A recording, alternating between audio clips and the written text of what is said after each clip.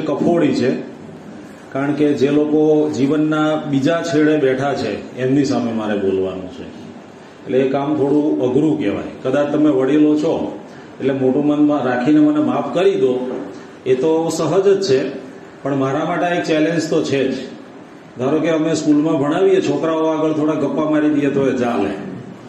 કારણ કે છોકરાઓને ઓછી ખબર હોય એમ, પણ અહીંયા કોઈ ગપ્પા મારી શકાતા નથી, એમ ગપ્પા મારીએ તો પકડાઈ જઈએ. પણ છતાંય I will try my level best અને બીજી વાત કે આપણો જે આજનો વિષય છે, એ આધ્યાત્મિક વિષય છે.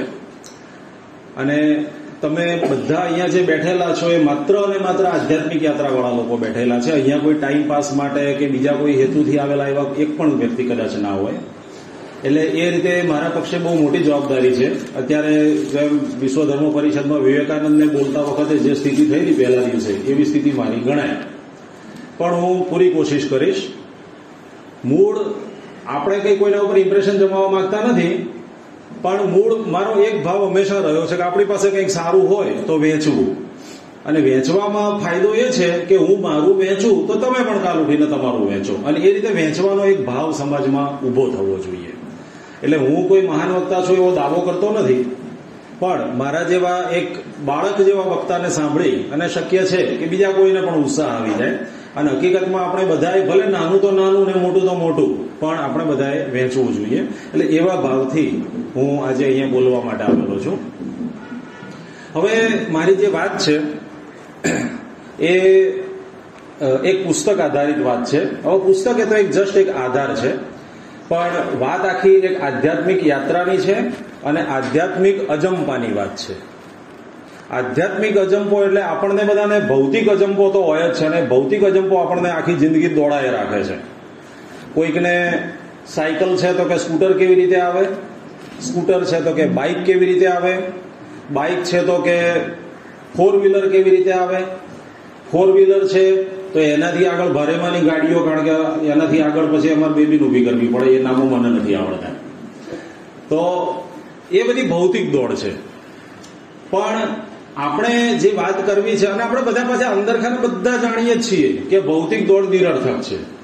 કશું બાંધીને લઈ જવાના નથી. આ એવરેજ દિવસમાં વીસ વખત સાંભળવાય મળે છે અને બોલવાય મળે છે. પણ આપણે જોઈએ છીએ કે એનો અમલ તો કશે જ થતો નથી. જે લોકો સ્ટેજ ઉપરથી કહે છે આખી નાખી સપ્તાહો કરે છે, કથાઓ કરે છે, કે ભાઈ કશું જ બાંધીને હાથે લઈ જવાના નથી. એમના ઘેર તો ઇન્કમ ટેક્સની રેડ પડે છે. તો આ ગોટાળો શું છે? એની આજે આપણે વાત કરવાની છે કે કઈ જગ્યાએ ટેકનિકલ ફોલ્ટ થાય છે. તો હું જે બોલવાનો છું, એ પુસ્તક એના લેખકનું નામ છે હરમાન હેસ. એ મૂળ જર્મન લેખક છે. લગભગ દોઢસો વર્ષ પહેલા એમનો જન્મ ઓગણીસો ને બાસઠમાં એમનું મૃત્યુ. જર્મનીના હતા. એમના પિતા ભારતની અંદર કેરળ નામનું જે રાજ્ય છે, ત્યાં ખ્રિસ્તી મિશનરીમાં પ્રોટેસ્ટન્ટની અંદર એક પાદરી હતા. ચર્ચમાં પેલા ફાધર હોય ને, એ પાદરી હતા અને બહુ આધ્યાત્મિક સ્વભાવવાળા હતા. આપને જાણીને આશ્ચર્ય થશે કે મલયાલમ ભાષાની પહેલી ડિક્શનરી એમણે લખેલી છે. ગુજરાતી ભાષાની પહેલી ડિક્શનરી કવિ નર્મદે લખી હતી. મલયાલમ ભાષાની પહેલી ડિક્શનરી આમના જે ફાધર હતા, એમણે લખેલી છે. અને પહેલું વ્યાકરણ આમની માતાએ લખેલું છે. એટલે એટલા એ લોકો એની સંસ્કૃતિમાં ઉત્પ્રોત થઈ ગયેલા હતા અને આપણી સંસ્કૃતિ એ થોડી એવી છે. એટલે એના લીધે હરમન હેસનું અહીંયા ભારતમાં અવર જવર રહેતી હતી. અને બેઝિકલી આ બાળક બહુ જિજ્ઞાસુ બાળક હતો. એટલે એને જાણવાનું અને ઊંડા ઉતરવાનું ખૂબ ગમતું હતું, એટલે એણે ખૂબ પુસ્તકો વાંચ્યા. આધ્યાત્મિક પુસ્તકો, ખૂબ આધ્યાત્મિક મહેનત કરી અને આ બધું સમજ્યો અને પછી જે બધું સમજેલું હતું, એ બધું ભેગું કરી અને જે પુસ્તક લખ્યું, એ પુસ્તકનું નામ સિદ્ધાર્થ. એટલે લેખક છે, તે પોતે જર્મન છે, પણ આ પુસ્તકના પાત્રો, કથા, અધ્યાત્મ એવરીથિંગ ભારતીય છે. એટલે આ એક કોન્ટ્રાડિક્શન જેવું લાગે છે, વિરોધાભાસ જેવું. કદાચ હું આખી વાર્તા કહીશ એટલે તમને એમ થશે કે આનો લેખક ઇંગ્લિશ લેખક કેવી રીતે હોઈ શકે, એવી વાત છે. પણ એ જ વસ્તુ સૌથી વધારે રસપ્રદ છે કે એને એટલો બધો રસ પડ્યો હતો અને આપણા સમગ્ર અધ્યાત્મનો નિચોડ એણે આ એક નાનકડા પુસ્તકમાં આપી દીધો છે. હવે મૂળ પુસ્તક તો જર્મન છે, જર્મન તો આપણને આવડતું ના હોય. એટલે એમાંથી એનું ઇંગ્લિશ ટ્રાન્સલેશન થયું હોય અને ઇંગ્લિશ ટ્રાન્સલેશનમાંથી ગુજરાતી ટ્રાન્સલેશન થયું હોય, એવા એક ટ્રાન્સલેશન રવિન્દ્ર ઠાકોર નામના લેખકે કર્યું છે. બીજું ટ્રાન્સલેશન અલ્કેશ પટેલ નામના એક પ્રોફેસર છે, એમણે કરેલું છે. ત્રીજું એક ટ્રાન્સલેશન છે, એ દીપક સોલિયા નામના લેખકે કરેલું છે. ચોથું ટ્રાન્સલેશન નીરુભાઈ દેસાઈ નામના એક બહુ જૂના લેખકે કરેલું છે અને બધા જ ટ્રાન્સલેશન અને અંગ્રેજી ચોપડી વારંવાર મેં વાંચેલી છે. એટલો બધો મારો પોતાનો આની અંદર ઇન્ટરેસ્ટ છે. એટલે આ તમને ચોપડીની મેં એક પૂર્વ ભૂમિકા કીધી. હવે મારી વાત શરૂ કરું, એ પહેલા મારે મારી વાતની શરૂઆત એક રમતથી કરવાની છે.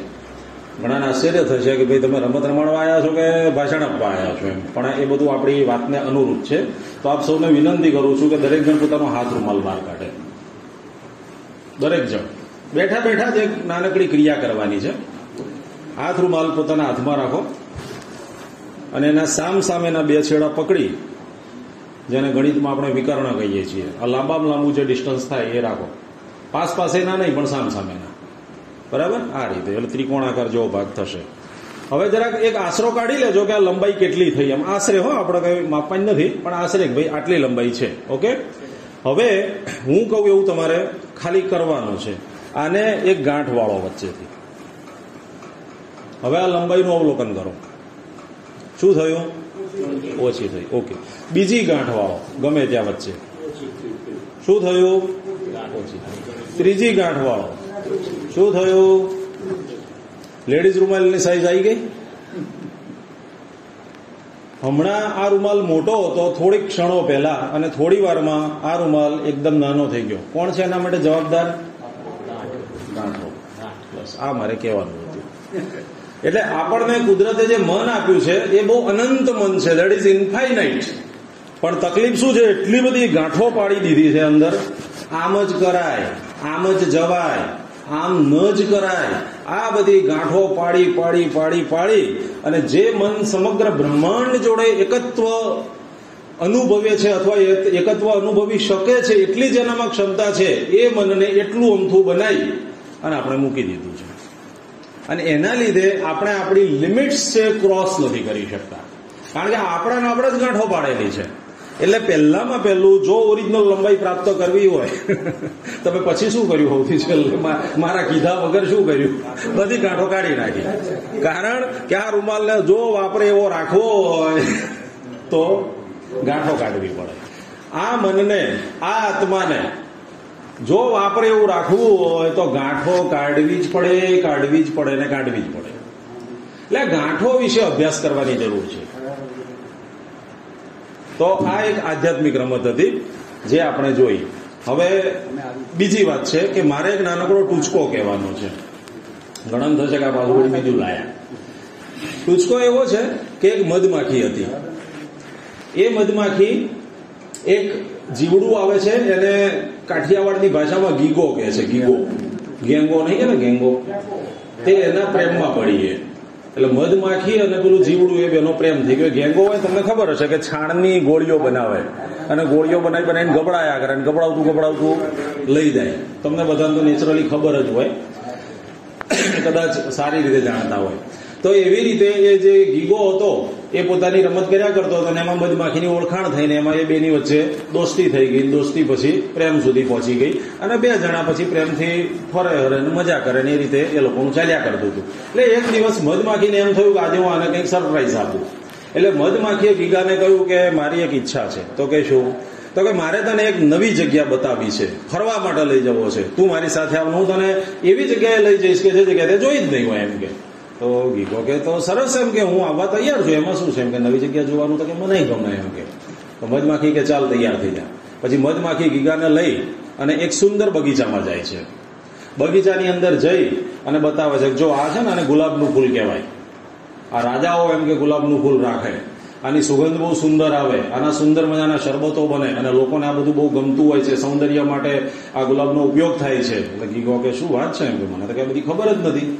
વળી આગળ ગયા. જો એમ કે ચંપાનું ફૂલ છે, આ વેણીમાં નાખવામાં આવે છે, આ મોગરો છે, આ ભગવાને ચડાવવામાં આવે છે, એમ બધા ફૂલોનું બધું જાત જાતનું કહ્યું પેલા તો કશી ખબર જ ના હોય ને, કારણ કે તો બિચારો આવી જગ્યામાં આવ્યો જ ના હોય કદી.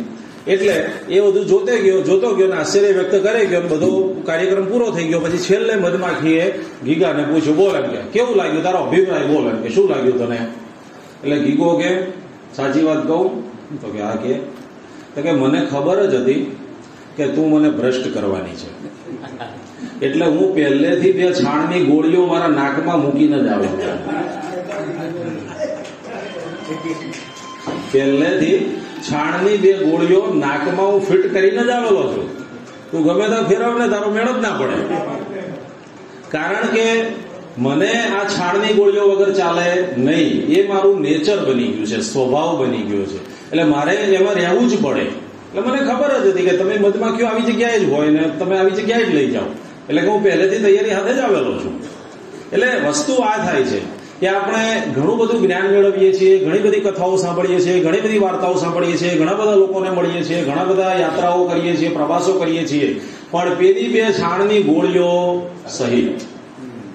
એના લીધે શું થાય છે? કે દરેક વસ્તુ આખરે પર્યટન કે મુલાકાત થઈને રહી જાય છે. પણ આપણો જે આંતરિક વિકાસ થવો જોઈએ, એ થતો નથી. એટલે હકીકતમાં આપણો જે આંતરિક વિકાસ છે, એ જ મહત્વનો છે. ભૌતિક વિકાસ તો આપણે બહુ જ ક્લિયર છીએ, કારણ કે ભારતમાં જન્મ્યા હોય એટલે આ તો સારી રીતે જાણતા જ હોય કે છેલ્લા બધું પડી મેલીને જ જવાનું છે. પણ આંતરિક વિકાસ ઉપર આપણી નજર હોવી જોઈએ. આંતરિક વિકાસ છે, તે જ સાચો વિકાસ છે. અને એ આંતરિક વિકાસની કથા એટલે આ પુસ્તક છે સિદ્ધાર્થ. હવે આ તો હકીકતમાં એક વાર્તા જ છે. અને આ વાર્તામાં જે સિદ્ધાર્થ નામ છે એ એનો હીરો છે. એટલે હવે હું વાર્તાની શરૂઆત કરું છું. હવે જુઓ, વાર્તા વિશે બી પાછી મારે ચોખવટ કરવી પડે કે વાર્તા એટલે નાના બાળકોએ વાર્તા સાંભળવાની હોય અને મોટાઓએ વાર્તા સમજવાની હોય. આટલો ફેર છે. નાના બાળકોને સાંભળવાની હોય, વાર્તા પૂરી થાય એટલે ભાગી જવાનું.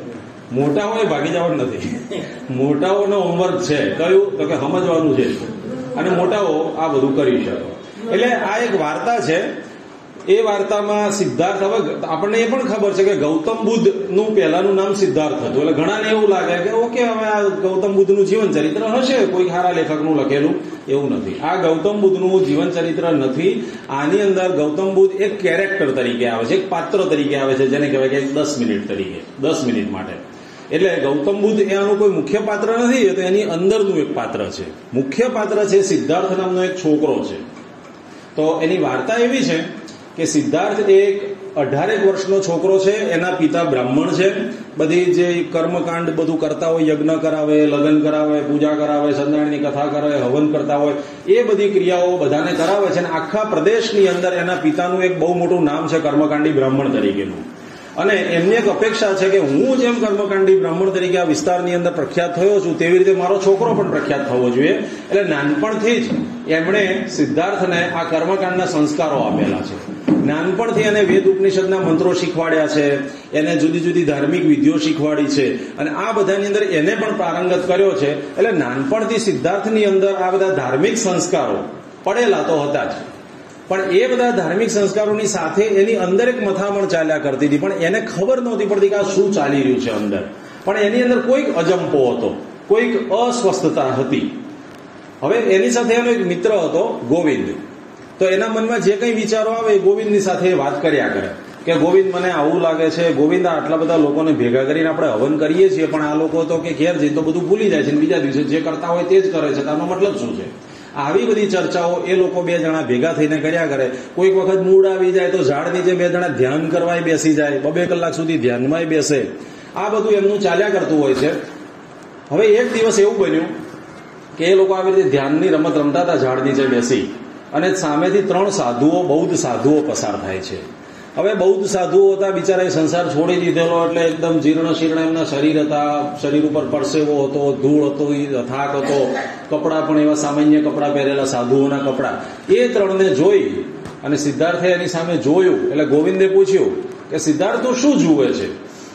એટલે સિદ્ધાર્થ કહે છે કે આવતીકાલે આ સિદ્ધાર્થ સંન્યાસી બનશે. એટલે પેલાને સીધો ઝાટકો વાગ્યો. કે આપણે રમીએ છીએ, આપણે વાતો કરીએ છીએ, આપણે ફરીએ છીએ, તો આવતીકાલે એમ કે સંન્યાસી બનશે? સીધું ડિક્લેરેશન તો કે છે કે હા, આવતીકાલે હું સંન્યાસી બનીશ. એટલે ગોવિંદ ગુંચવાઈ ગયો કે હવે મારે શું કરવાનું? મારો મિત્ર જતો રહેતો. પણ ગોવિંદ કશું બોલતો નથી. અને બે જણ પછી છૂટા પડે છે. સિદ્ધાર્થ ઘેર જાય છે.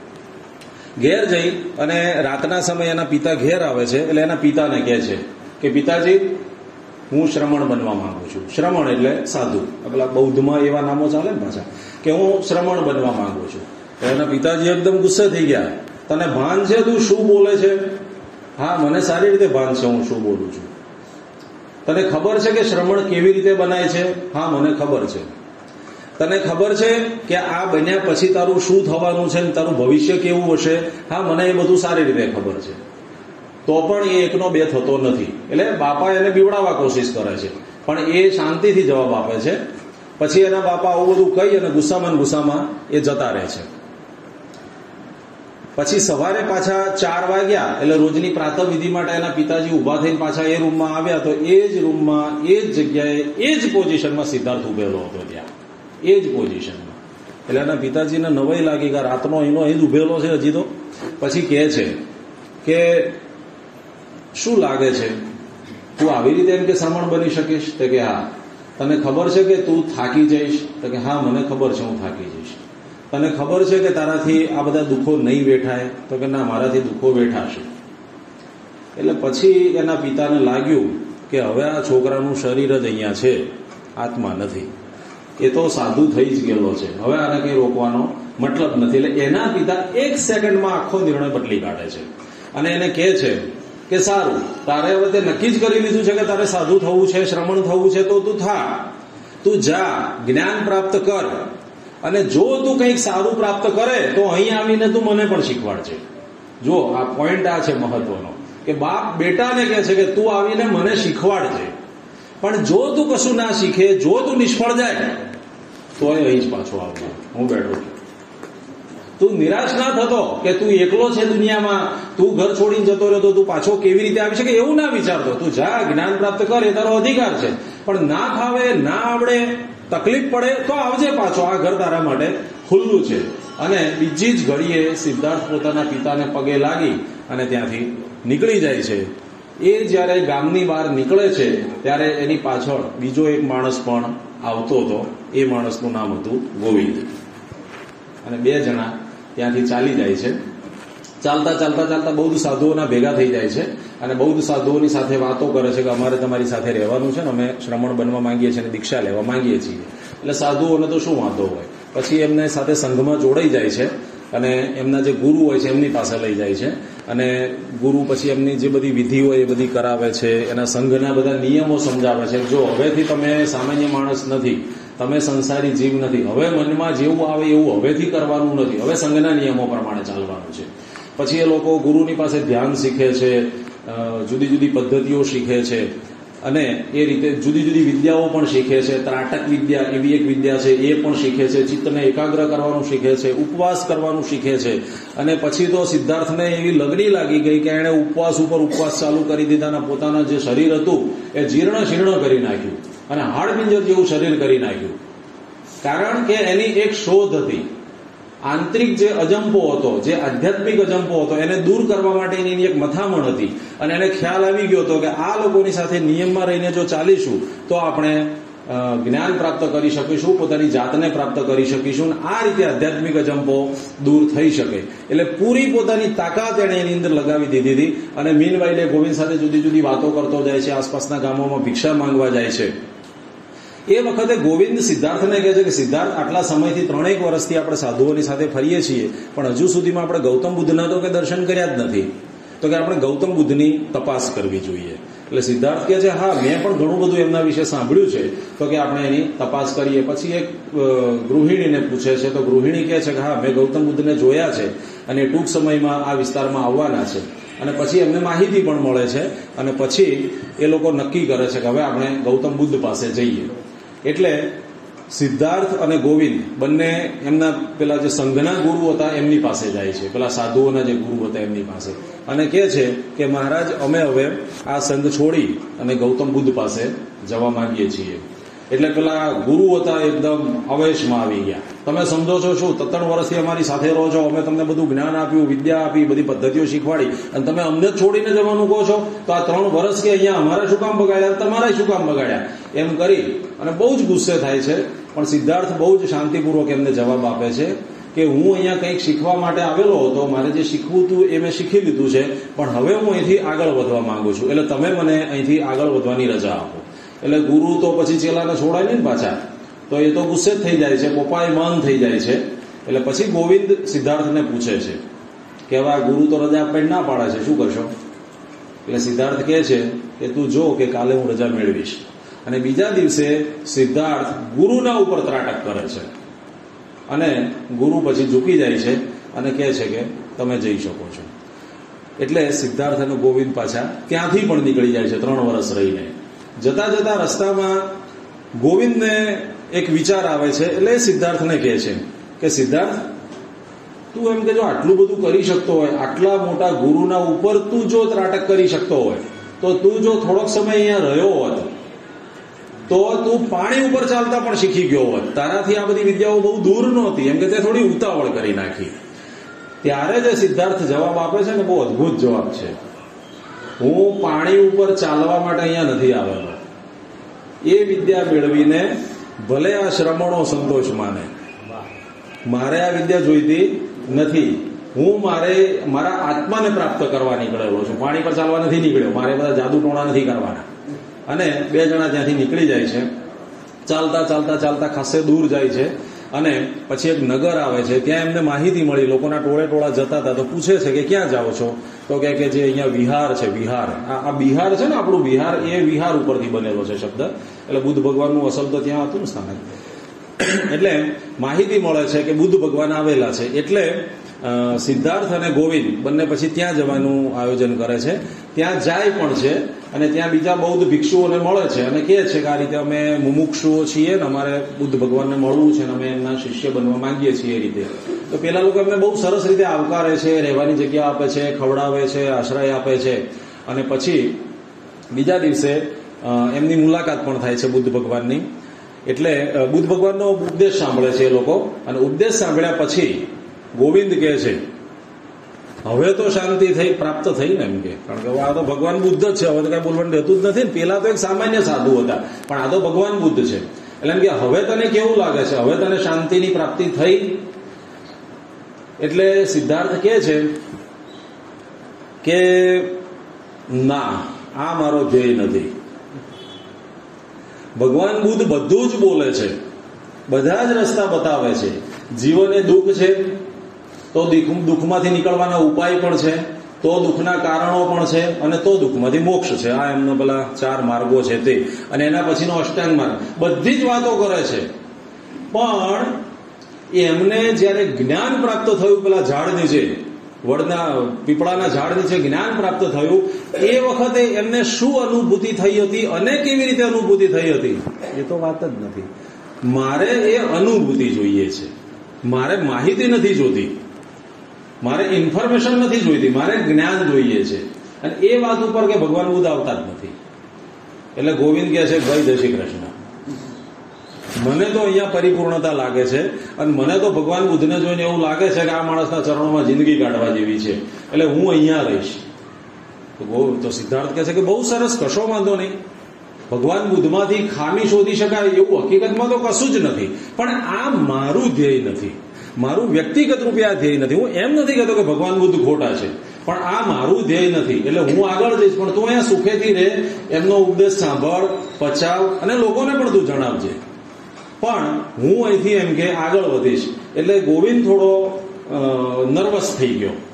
કે તું એમ કે મને છોડીને જવાની વાતો કરે છે? આપણે બે બાળપણના સાથીદારો જન્મ્યા ત્યારના ભેગા રમીએ છીએ. ગામડામાં રમતા હતા, ગામના નાકે આપણે લોકો ધ્યાનની રમતો રમતા હતા. પેલા સાધુની સાથે તત્ણ વરસ કાઢ્યા કેટલું કેટલું આપણે ફર્યા. અને તું એમ કે અસલ બુદ્ધ ભગવાનના ચરણોમાં આવી નહીં કે જવાની વાત કરે છે કે તું માણસ કેવા પ્રકારનો છે? તો કે એવું કશું જ નથી, પણ જો તારા બોલવા પરથી સ્પષ્ટ લાગે છે કે તું અહીંયા ખુશ છે, તો તું અહીંયા રહે પણ મને અંદરથી એવું લાગે છે કે મારે હજુ આગળ જવું પડશે. એટલે મને તું જવા દે અને તું કોઈ ખેદ ના કરે એનો. હું બહુ સુખપૂર્વક, હું બહુ જ પ્રેમપૂર્વક તને રજા આપું છું. અને ગોવિંદ છે, એ આંખમાં આંસુ સાથે સિદ્ધાર્થને વિદાય કરે છે. વિદાય થયા પછી પાછો કહે છે કે મારે હજુ બુદ્ધ ભગવાનને વ્યક્તિગત રીતે મળવું છે. અને પછી એ બુદ્ધ ભગવાનની પાસે જઈ અને રજા માંગે છે કે મારે આપની સાથે વાતો કરવી છે. તો મને રજા આપો છો વાત કરવાની? તો બુદ્ધ ભગવાન ઈશારાથી કહે છે કે હા, એમ કે બોલો, શું પ્રશ્ન છે? તો કે ભગવાન, તમે તમારી વાતમાં એવું કહો છો કે સમગ્ર વિશ્વ એક અનંત રચના છે. બધું સળંગ છે. There is not a gap there is not a hole એમાં કોઈ છિદ્ર નથી. બધું અનંત વિશ્વ છે. આવું તમે એક બાજુ કહો છો. પણ એમ કે આ વિશ્વની અંદર એક બાકોરું એવું પણ છે કે જેમાંથી તમને મદદ મળી શકે છે. અને એ મદદના લીધે તમે તમારો ઉદ્ધાર થઈ શકે છે અને એમાંથી તમે મોક્ષ મેળવી શકો છો. તો એવો એક રસ્તો તમારા હાથમાં છે. આવો જો તમે ઉપદેશ આપો છો, તો જો તમે બાકોરાનું અસ્તિત્વ બતાવતા હોય, તો પછી તમારી જગતની અનંતતાની વાત ખોટી પડે છે. એક બાજુ તમે કહો છો કે જગત સળંગ સૂત્ર છે. અને એક બાજુ તમે કહો છો કે એમાં બાકોરું પણ છે કે જેમાંથી તમે મુક્તિ મેળવી શકો છો. એટલે એમ કે હજુ મારા મનમાં આ બધું સેટ થતું નથી. એટલે એમ કે પ્રભુ, આના વિશે શું કહેવું છે? એટલે ગૌતમ બુદ્ધ સહેજ સ્માઇલ આપે છે અને કહે છે કે, જો યુવાન, તારી વાત તદ્દન સાચી છે. આવા શ્રોતાઓ મને બહુ ઓછા મળ્યા છે જે મારી અંદર ખામીઓ હોતા હોય. અમને પણ કે આવા લોકો જોઈએ છે કે જે અમને ચેલેન્જ કરતા હોય. પણ વધારે પડતા તર્કથી આ સાંભળજો, બહુ મેઇન ડાયલોગ છે પુસ્તકનો. વધારે પડતા તર્કથી, તર્ક એટલે લોજિક વધારે પડતા તર્કથી અને વધારે પડતી શબ્દોની રમતથી ચેતજે. એટલે તને જો એવું લાગતું હોય કે તારે હજુ આગળ વધવાની જરૂર છે, તો તું જા. પણ વધારે પડતા તર્કથી અને વધારે પડતા શબ્દોની રમતથી તું ચેતજે. આ એક જ વાક્ય એ બોલે છે. અને પછી સિદ્ધાર્થ છે તે એમને પગે લાગી અને આગળ વધે છે. અને દરમિયાન ગોવિંદને પણ વચ્ચે કહે છે, આગલા સ્ટેજમાં, કે ભગવાન બુદ્ધના ઉપદેશ કરતા મને એમની હાથની મુદ્રા વધારે ગમી. જુઓ, આ એક નવા પ્રકારનું વિધાન છે. ભગવાન બુદ્ધના ઉપદેશ કરતા મને એમની હાથની મુદ્રા વધારે ગમી. કારણ કે ભગવાન બુદ્ધ બોલે છે, તે શબ્દ છે. પણ એમનો જે હાથની મુદ્રા છે, એ કૃતિ છે, કાર્ય છે. એટલે મને એમનું જ્ઞાન એમની હાથની મુદ્રામાં દેખાય છે કે એટલે માણસ શું બોલે છે એ મહત્વનું નથી. શું કરે છે એ મહત્વનું છે. આપણે ભારતીય લોકો આ પોઈન્ટ ઉપર છેતરાઈએ છીએ. આપણે શબ્દો ઉપરથી માણસોનું મૂલ્યાંકન કરીએ છીએ. એક માણસ બહુ સારા શબ્દો બોલે એટલે ઓટોમેટિક સારો થઈ જાય છે. અને એના કાર્યો ઉપરથી આપણો કેમેરો ખસી જાય છે. પણ હકીકતમાં માણસ બે ગાળ બોલતો હોય તો માફ કરવો જોઈએ, પણ એ સારું કામ કરતો હોય. અને મને કહેતા બહુ જ આનંદ થાય છે કે આપણે ક્યાં દૂર જવાની જરૂર છે? જલારામ બાપાએ કયા મોટા ઉપદેશો આપી દીધા છે? પણ કાર્ય. શું છે પેલું? રોટીનો ટુકડો? આપો રોટીનો ટુકડો તો હરી એટલો ટુકડો. કઈ લાંબી પોળી ફિલોસોફી છે? ભૂખ્યા ને ખવડાવો. કાર્ય. સીધે સીધું કાર્ય. કોઈ ઉપદેશ નહીં, કોઈ વાતો નહીં, કોઈ ગ્રંથો નહીં. નરસિંહ મહેતા તો કહીને જ ગયા છે કે ગ્રંથ ગરબડ કરી. એટલે કાર્યનું મહત્વ છે. એટલે ભગવાન બુદ્ધનું જે કાર્ય છે એ મને એમના હાથમાં દેખાય છે. એટલે શબ્દોમાં મને રસ નથી. શબ્દો તો આ ફિલ્મી નથી, ફિલ્મી લેખકો ભલ ભલા શબ્દો મૂકી મૂકીને ગીતો લખી નાખે છે, પણ એ જમણા હાથમાં પેન હોય ડાબા હાથમાં વિસ્કીનો ગ્લાસ હોય. અને ઘણા કવિઓ હારામ હારી કવિતાઓ લખીને હાજે ગટરમાં પડ્યા હોય. આ બધા બહુ સ્વાભાવિક દાખલા છે, હો. એટલે શબ્દોનું મહત્વ નથી. શબ્દોની માયાજાળમાં રહેવાનું નહીં. કાર્ય ઉપર ધ્યાન આપો. કે what the man is doing માણસ કામ શું કરે છે? એટલે એમાં મને સારામાં સારું ઉદાહરણ ભાઈ આ જલારામ બાપાનું જ યાદ આવ્યું કે કાર્ય, સીધે સીધું કાર્ય. અને એક સામાન્ય કાર્ય કે ભૂખ્યાને ખવડાવો અને આજે આપણે જોઈએ છે કે બસો બસો વર્ષથી આ પરંપરા ચાલી રહેલી છે. બીજા પણ ઘણા બધા ઉદાહરણો આપી શકાય. અને સિદ્ધાર્થ ત્યાંથી નીકળી જાય છે. ત્યાંથી પછી એના મગજમાં ભયંકર ચક્રવાત ઊભો થાય છે. કારણ કે આ તો બધું શું છે કે બોલવું ને બોલ સંભળાવવું બહુ સારું લાગતું હોય છે, પણ અંદર તો કન્ફ્યુઝન જ હોય છે કે બાપનું ઘર છોડ્યું, સાધુઓને છોડ્યા, અને પેલો સૌથી મોટામાં મોટો જે આધાર હતો પોતાનો મિત્ર, એને પણ છોડ્યો, અને બીજો તો કોઈ સંસાર નથી. અને આ બધા તો બધા પ્યોર લોકો હતા પ્યોર એટલે એમના બીજા કોઈ એવા આધારો હતા જ નહીં, ખાનગી આધારો. જે હતું તે બધું સ્પષ્ટ જ હતું. એટલે એટલો બધો મનમાં કન્ફ્યુઝ થાય છે, ગુંચવાય છે કે હવે શું કરવું ને ક્યાં જવું? એમ ચાલતા ચાલતા ચાલતા ચાલતા એ જંગલમાં પહોંચી જાય છે અને જંગલમાંથી એક આગળ જતા જતા નદી આવે છે, તે નદીના કાંઠે બેઠો બેઠો આ બધું વિચાર્યા કરે છે, સામે નદી છે. નદીની અંદર એ ધારી ધારીને જોયા કરે છે, તેને એનું બાળપણ દેખાય છે, એના પિતાજી દેખાય છે, એના પિતાજીની વિનંતીઓ દેખાય છે. એક સમયે તો એની આંખમાં પાણી આવી ગયા કે ખોટા નીકળી ગયા ઘરથી. ઘર નતું છોડવા જેવું. બાપા હું ખોટા હતા? એવું થઈ ગયું. પણ વળી પાછો પેલો અંતરાત્માનો અવાજ આવે છે કે જો તું ઘેર જઈશ, તો તારો જે અજંપો તો એ દૂર નથી થવાનો. તને સુવિધાઓ મળશે, પણ તારું તારો જે અજંપો છે, આધ્યાત્મિક અજંપો, એ દૂર નહીં થાય અને વળી એ કાંઠો થઈ ગયો કે ના, જે થવું હોય તે થાય. મરી જવું પડે તો હું મરી જઈશ. પણ મારો જે હેતુ છે, એ હું નહીં છોડું.